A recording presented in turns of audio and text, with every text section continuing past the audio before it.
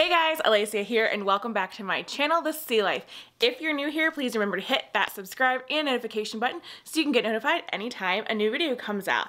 Today is all about a review that is long overdue. You guys, Master Books Science Collection for more of the elementary grade stuff. So go grab a drink, go grab a snack, come on back, sit down, and we are gonna dive into this review. I've had so many people ask me over actually the last 48 hours um, about the Master Book science stuff, and we're gonna dive into it. We're gonna look through the multiple different levels of the more elementary level science stuff with Master Books let's get into it.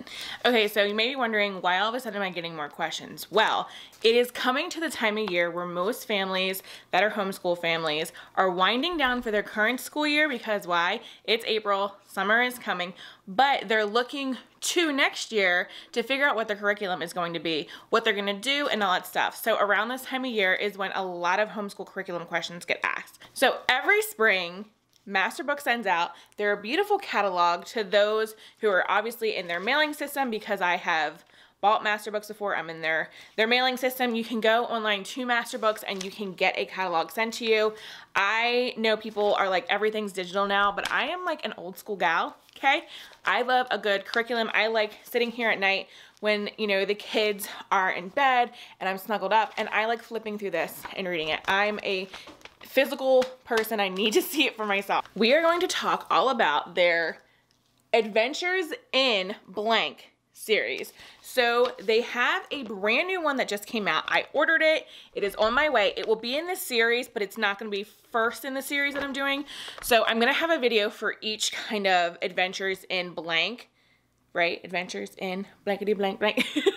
there's different titles. They start with adventures and then there's different titles after that. So they go from adventures in the world around me, which is level K, to Adventures in Creation, which is level 1 or grade 1, to Adventures in the Physical World, level 2, grade 2, to Adventures on the Planet Earth, level 3, grade 3, and Adventures in the Scientific Scientific Method, or grade 4, level 4. So two of them have just been released. One the Adventures in the World Around Me for level K. I just purchased that on Master Books because um, I need to get a couple of things for next year. And then what is coming out summer of 2022, which I will be, the day it's released, be on it like white on rice, is Adventures in the Scientific Method. Now, they also have Life for Beginners, Heaven and Earth, and then, so Life for the Beginners is grade 1 through 2. Heaven and Earth for, be for Beginners, grade 1 through 2. Then they have just the regular Life, which is supposed to be anywhere between grade 3 to grade 8. They have just regular Heaven and Earth, which is also, or God's Design for Heaven and Earth, which is grades 3 through grade 8. They have the Physical World, grade 3 through grade 8. God's Design for Chemistry and Ecology, grades 3 through 8. These scientists are going to be more for the elementary and then junior level high school types. Now you're going to be wondering why. Why do they have two different series in sciences? Why is it not just adventures in blank or the God's design? Personally, I don't really like the style of multi-level programs. I really want something that's going to be on the level that my child would be as in school. This having a wide range, there's some things that he was doing by himself and other things were kind of too advanced for him. So we put this one on the back burner. Boop, on the back burner. Which one should you do? God's Design of Life for Beginners or Adventures in Creation Level 1. You're just starting out, your kids are just starting elementary school, and you are stuck on which one to do. Now, here personally is my opinion on what the difference is. Adventures in Creation Level 1 came out. Now, what I like about this, okay, 20 minutes per lesson, three days a week, includes the daily, daily schedule for activities, designed for first graders in year one courses. Right there. These books are designed to be on level with the actual grade level. So if you're looking to have your children stay on target, on level, I would really go with the adventures in books. And then if once you get through them, you could move on to the God's Design for blank series. I feel like this should come first before this. Personal opinion. Some people, they totally skipped the Adventures in series and they went straight to this. Your own personal choice. I really recommend to start with this. So like I said, we're gonna be going through all of these, flipping through them, so you guys can kind of get an overview of what it looks like and if it's something that you want to purchase for your family. All right, y'all, now let's get into Adventures in the Physical World, Level 2. So this is what it's going to look like when it's taken out of its backing and put into a three-ring binder.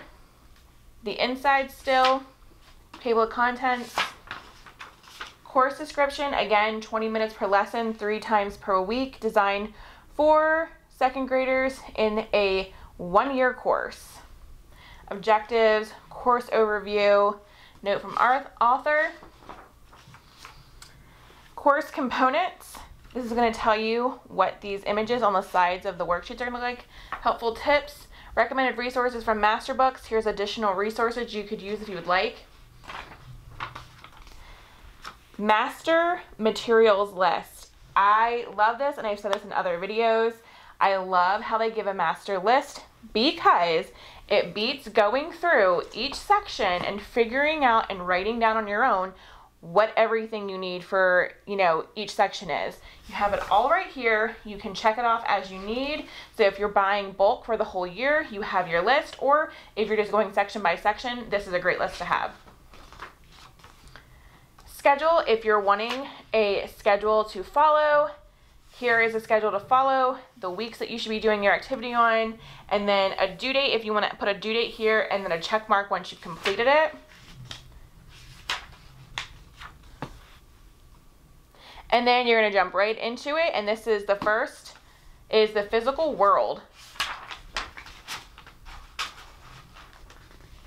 So I say this at the beginning of each video because I'm not sure if someone has seen my other videos or not.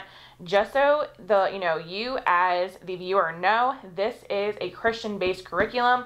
They used Christ and the Word of God throughout the series. They use stories throughout the series. So this is a Christian based curriculum. If this is not something you're looking for, um, obviously, you know, not much I can say about that. I think that everyone should give this curriculum a try because it's so well, but I understand if you don't want to.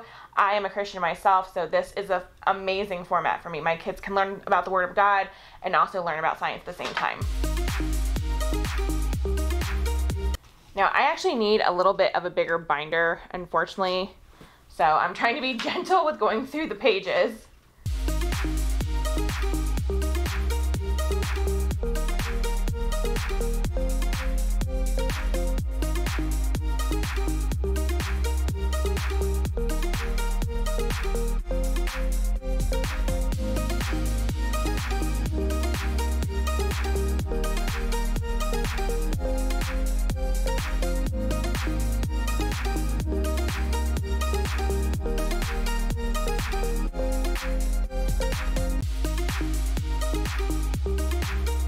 My kids love this comic book section. They love making their own comic books.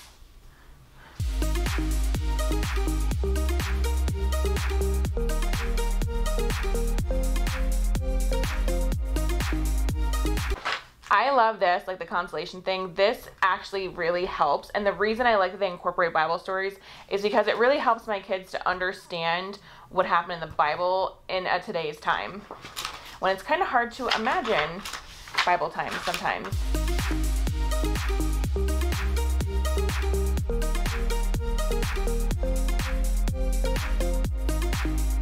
This right here is one of the main reasons why I take it out of the book because when you get to parts like this, you're not trying to rip out pages without like ripping the paper. So when you went to make this activity, I already have it flipped out.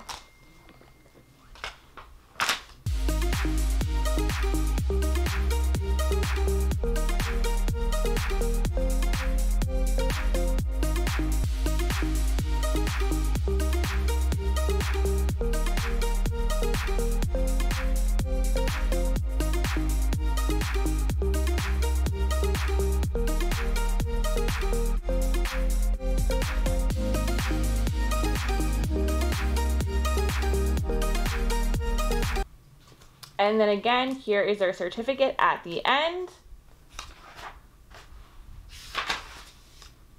And here's also an answer key just for some of the things for this level that you might need an answer key for if you're unsure about something. And then your little advertisements in the back. And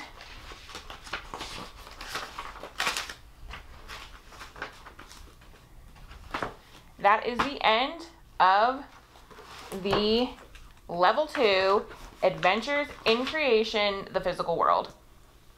As always, thank you guys so much for joining me on today's video. If you have any questions, please feel free to leave them in the comments below. I try my best to answer them as they come. If there are any videos that you guys are wanting to see, always suggestions are welcome in the comments and I will see you guys on the next video.